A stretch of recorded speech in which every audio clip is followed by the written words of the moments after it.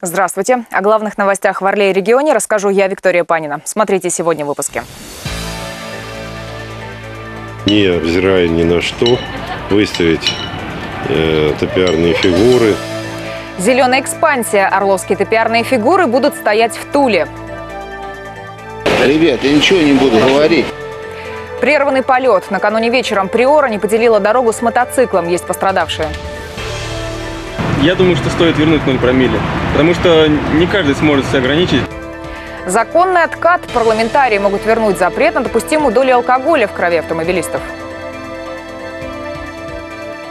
Подвиги имеют имена. Первый областной продолжает народный проект «Победители».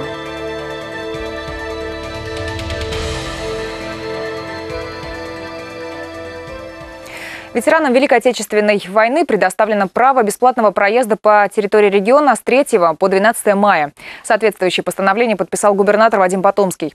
Эти дни были выбраны не случайно. В канун Дня Победы в области будет проходить много праздничных мероприятий. Губернатор лично держит на своем контроле все мероприятия, связанные с этой датой, э, с датой Великой Победы. И весь этот комплекс мероприятий в том числе и состоит из того, чтобы обеспечить для всех ветеранов и лиц, которые их сопровождают, бесплатный проезд. Идею сделать бесплатным проезд для ветеранов поддержали перевозчики. На совещании с руководителями автотранспортных предприятий, которое провел зампред Николай Злобин, было озвучено, что одна из крупнейших служб такси тоже предоставит свои услуги. Право бесплатного проезда распространится также на одного из сопровождающих ветерана лиц. Помимо организационных вопросов, транспортникам напомнили о соблюдении правил безопасности и контроля за состоянием машин, причем не только техническим.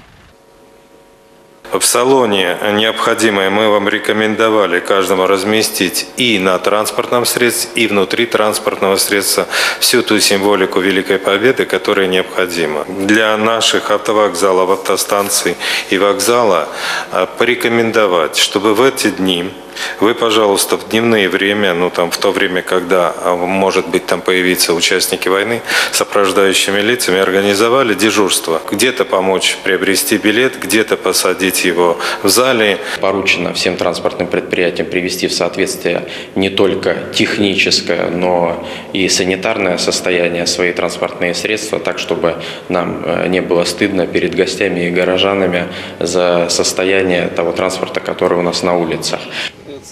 Также с 1 мая в области начнет работать региональный штаб по организации перевозок по телефону 59 83 17. Ветераны и их близкие могут получить информацию по любым вопросам, связанным с проездом в транспорте.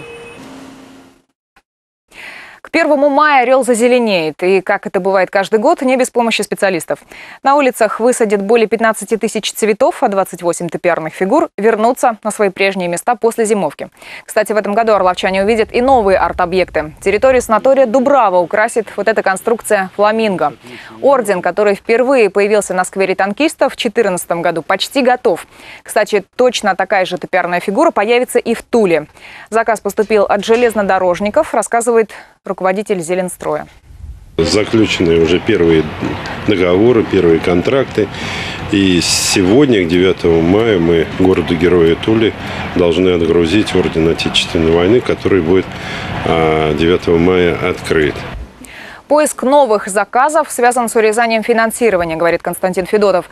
Если в прошлом году на счета муниципального предприятия поступили 50 миллионов рублей, в этом году не досчитались 14. Причем урезаться пришлось не только в финансах, но и территориально. Были придуманы вот такие домики, топиарные фигуры накрыты, люди работают э, и в снег, и в град, и в дождь, готовят топиарные фигуры.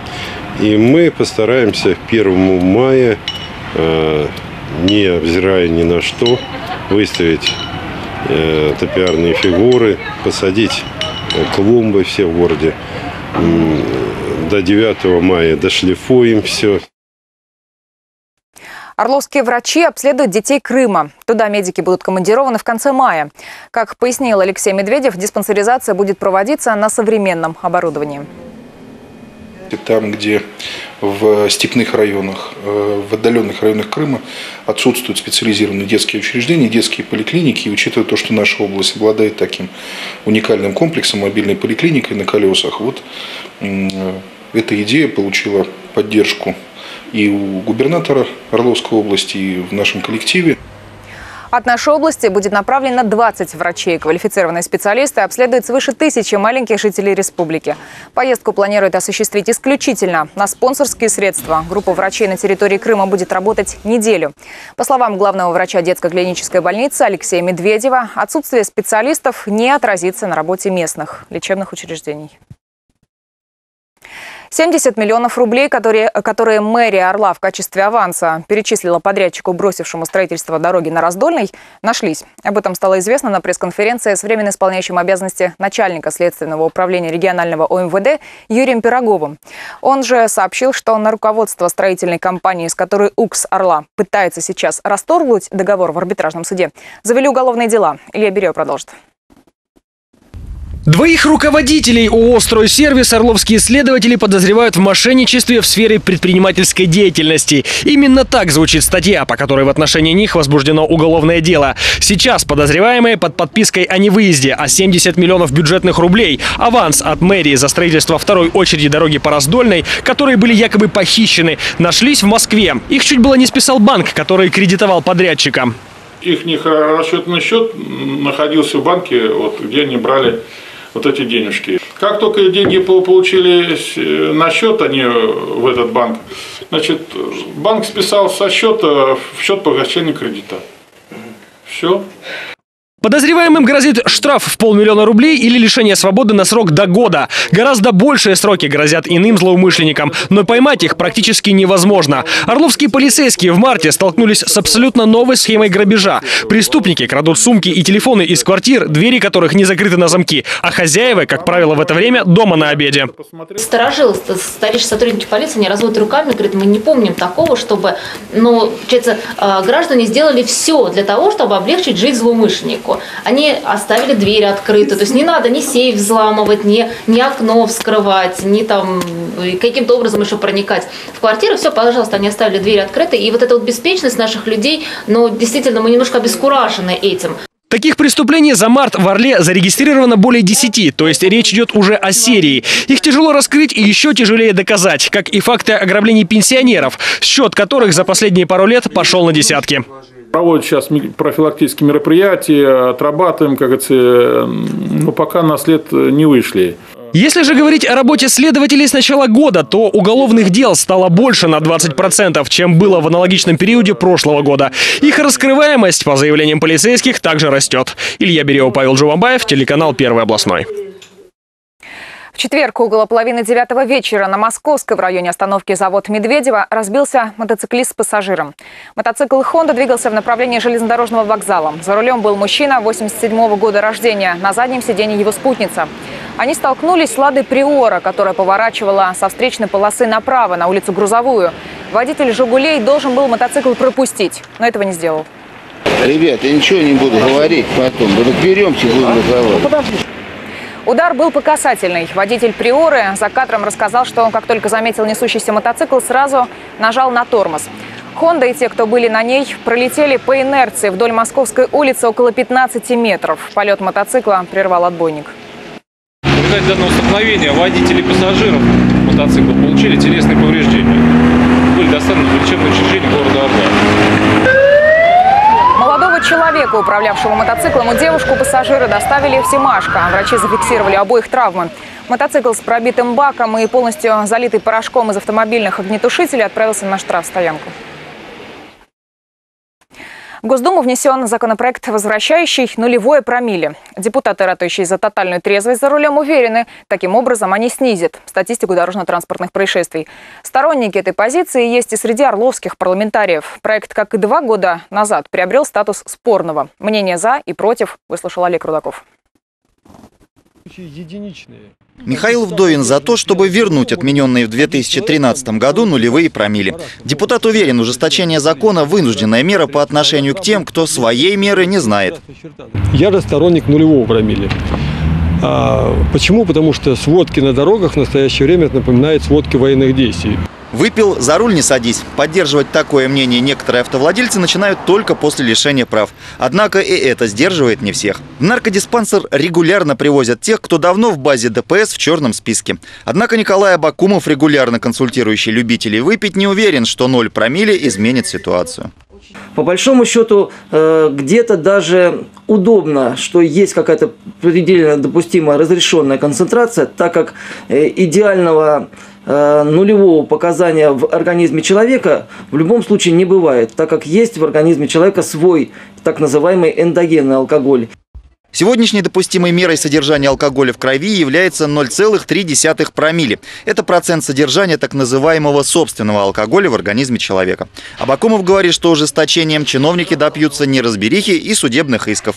Михаил Вдовин же говорит, что стремление к абсолютной трезвости подтолкнет автовладельцев и к самодисциплине. Если кто не может жить без стакана белого вина и без бутылки пива и считать в уме промилле, я бы советовал этим людям ходить пешком. Вы сохраните здоровье себе и обезопасите нас окружающих. В этой аварии в районе Алроса виноват пьяный водитель. При обследовании выяснено, что у него в крови содержание алкоголя было куда выше пресловутых 0,3 промилле. Кто знает, чем руководствовался этот человек, садясь за руль, но уж точно не принципом трезвости. За такое нарушение, приведшее к причинению ущерба другим участникам движения, в той же Германии предусмотрено пожизненное лишение прав. В Финляндии штраф 7 тысяч евро, это при том, что машину купить можно за тысячу. Но в Европе аварии по причине опьянения водителя большая редкость, несмотря на то, что допустимая норма алкоголя 0,5 промилле, что эквивалентно выпитой бутылке пива. Значит, проблема не в процентах. У орловских автомобилистов мнения по поводу законопроекта разделились. Я против, потому что летом очень много продают вкусного кваса, а с 0 промиллем как его попьешь? Я думаю, что стоит вернуть 0 промилле, потому что не каждый сможет себя ограничить 16, как сейчас есть, а, и просто пьет лишнего. Олег Рудаков, Алла Новоженина, Олег Фомин, Константин Тимиргалеев, телеканал «Первый областной».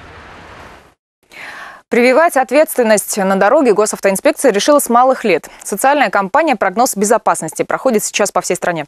Задача проекта – научить водителей и пешеходов правильному поведению в условиях различных, пого... э, в условиях различных погодных условий. Сегодня в гимназии номер 19 прошел открытый урок физики, э, на котором были рассмотрены погодные условия и как они влияют на безопасность дорожного движения.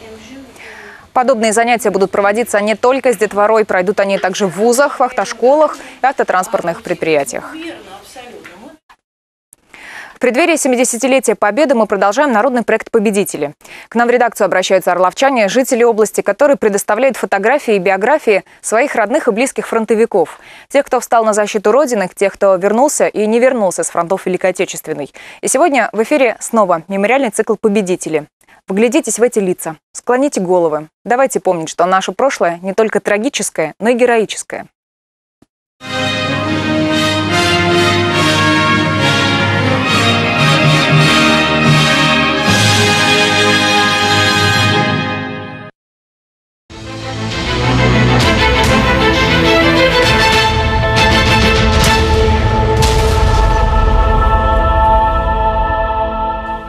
Были высоки, русоволосы, Вы в книгах прочитаете как миф О людях, что ушли недолюбив, Не докурив последние папиросы.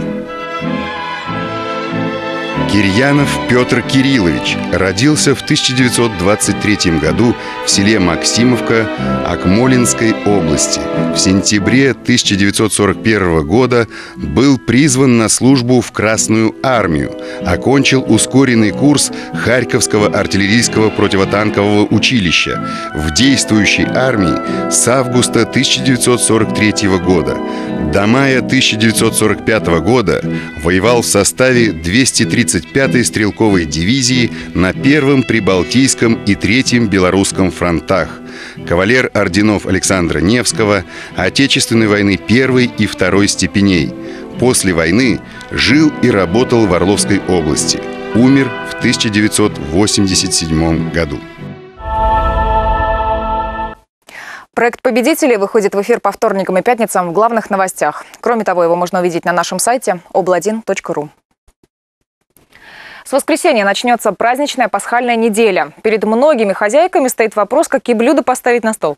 Традиционными мясными угощениями на Руси считаются пельмени и котлеты. Но среди множества производителей, представленных сегодня на рынке, каким отдать предпочтение? В пельменной номер один выпускает продукцию особого качества, без усилителей вкуса и ГМО. За что орловчане прозвали пельмени этой марки христианскими, узнала Алла Новоженина. Пельменная номер один открылась в Орле три года назад. Она представляет собой сеть магазинов розничной торговли. В самом начале орловчан сюда зазывали за пельменями. Теперь же в магазины идут и за другими полуфабрикатами. А почему берете именно здесь вареники? Ну, потому что мне нравится очень вкусная продукция. В ассортименте голубцы, вареники, тефтели, котлеты разных видов, манты, чебуреки и самса.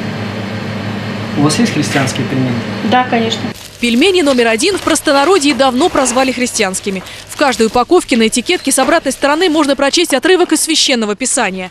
Максим Виноградов говорит, таким образом пытается утолить голод у потребителя в пище духовной. Делая а, хорошую продукцию, а, я хочу, чтобы люди еще и питались духовно. То есть а, у каждого из нас есть Библия, да, но если задать вопрос, когда человек ее читал последний раз, то будет ответ примерно одинаковый, там, когда-то. Вот. Я хочу, чтобы хотя бы так люди ну, читали Библию. По-другому назвать пельмени можно домашними. В рецептуре нет ни одного запрещенного ингредиента. В составе пельменей, котлет, мант, голубцов – чистое мясо. Технология производства подобна той, что готовится на домашней кухне. После нарезки куриное филе отправят на фарш, где добавят соль, перец, лук и яйца. Тут же приготовленная смесь разойдется на пельмени и котлеты и, приняв традиционный аппетитный вид, отправится на несколько часов в заморозку. Оттуда уже вручную будет расфасовано фирменные целлофановые пакеты с цитатами из Библии и бумажную упаковку. В Орле продукцию пельменной номер один можно приобрести в 30 торговых точках. Нашу продукцию можно приобрести, во-первых, в фирменных магазинах пельменная номер один, а также практически во всех магазинах «Сладкоежка», «Атолл», э, в апельсинах, сберегайках. Это можно приобрести только пельмени. И сейчас мы начали работать с таким магазином, как «Оптовичок». Там будут э, представлены несколько видов котлет и пельменей. Пельмени могут быть настоящими. Убедиться в этом может каждый, кто хоть раз их попробовал. Кстати, в пасхальную неделю продукция пельменной номер один может стать особым блюдом на праздничном столе, порадовав своим отменным качеством и вкусом. Качество хорошее. Вот. Мы всегда кушаем всей семьей, рекомендуем друзьям, и никогда не было никаких нареканий. Поэтому сейчас сложно, мне кажется, найти хорошую продукцию, а именно эта продукция нам нравится. А главное, экономя на времени, вы не экономите на здоровье. Алла Новоженина, Олег Фомин, телеканал «Первый областной». Одним из главных пасхальных угощений остается кулич. Для того, чтобы он был на каждом столе, свой режим производства изменили орловские пекарни. Количество заказов на традиционную выпечку кондитерам не дает отдыхать даже ночью. Те же, кто хотят сами испечь угощение накануне праздника, отправились на мастер-классы. Ксения Туркова расскажет, чему учили маминых помощников. Мастер-классы по приготовлению праздничной выпечки кондитеры давали на протяжении недели. Мы здесь стараемся э, показать детям, что изготовление этих куличей э, требует э, внимания, тепла. От э, усердия зависит э, вкусовые ощущения, вообще э, пышность этого кулича. Этот светлый христианский праздник ждут с нетерпением даже самые маленькие. Уже в это воскресенье тысячи верующих Орла вместе со всеми православными будут праздновать Великую Пасху. У каждого человека верующий, он или неверующий, он ассоциируется с весной, э, с вкусными куличами. Их в Орловских кондитерских только успевают печь. Подготовку к празднику здесь решили вовлечь и самых маленьких. Желающих посетить такие уроки от кондитеров оказалось несколько сотен. На них дети узнавали о традициях праздника и его обязательном атрибуте – пасхальном куличе. Взрослые-то уже сами научились, а дети еще неопытные и не умеют делать. В этом году своими руками праздничную выпечку малыши готовили впервые.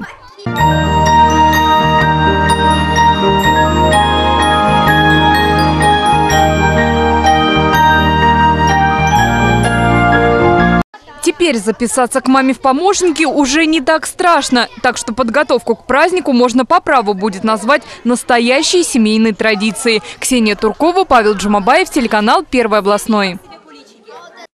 Сегодня, 10 апреля, орловский боксер Эдуард Троиновский примет участие в очередном титульном бою. Наш боксер встретится на ринге с Айком Шахназаряном, бойцом из Самары. Поединок состоится в спорткомплексе «Лужники» в Москве. Напомним, Эдуард Троиновский – 34-летний боксер, чемпион мира в легком весе по версии WBA, WBO и Паназиатской боксерской академии. Троиновский идет без поражений, одерживая, как правило, победу досрочно, нокаутом. Пожелаем Эдуарду успеха. На сегодня это все. Интересную информацию сообщайте нам по телефону 76 10 28 и пишите на наш сайт obladin.ru. Я прощаюсь с вами. До встречи. Мы откроем вам секрет стройности. Славянская клиника. Подробности уточняйте по телефону 7809 95. Телеканал «Первый областной» объявляет набор на замещение вакантной должности менеджера по рекламе. Телефон 44 40 20.